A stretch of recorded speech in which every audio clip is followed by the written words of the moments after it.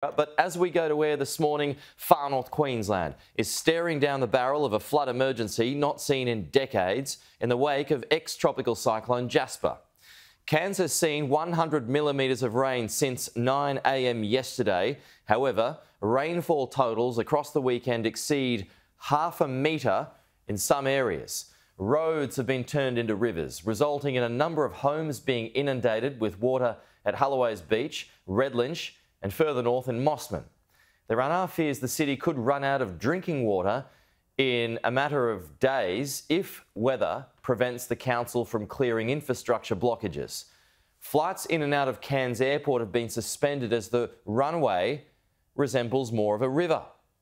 Incredible pictures out of Cairns Airport. The sheer force of the water has seen key roads such as the Captain Cook and Palmerston highways give way while Good Samaritan spent yesterday rescuing livestock seen floating down the Barron River.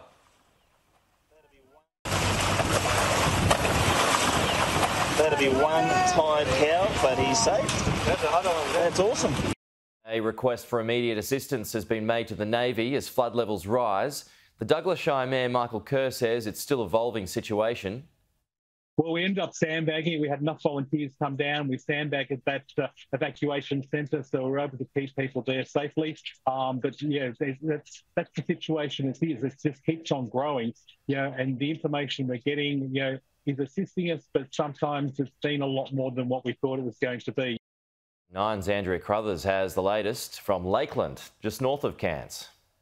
This is extremely concerning. So I can tell you eight people are currently trapped on a hospital roof in the town of Wujal Wujal. So this is a remote Aboriginal town about halfway between Cooktown and Port Douglas.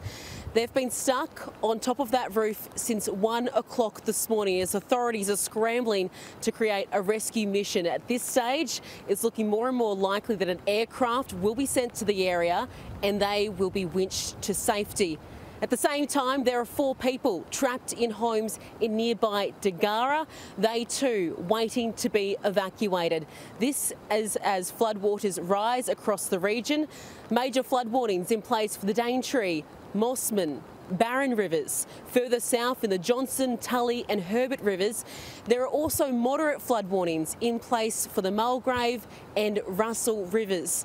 As you said in the introduction there, Cairns Airport it has now closed for the second time in just a matter of days. This is after water breached the levee bank outside that I can tell you they'll be having a meeting around 8 o'clock this morning to assess the situation there. Power outages too, 12,500 people again today will be waking up in darkness and we're also seeing a large number of roads cut across the region. No one able to get in and out expects that will affect people not just in the far north but the southeast and elsewhere around the country as well because it means fresh food from this region also can't get out. So expect temporary price spikes and supply shortages there too.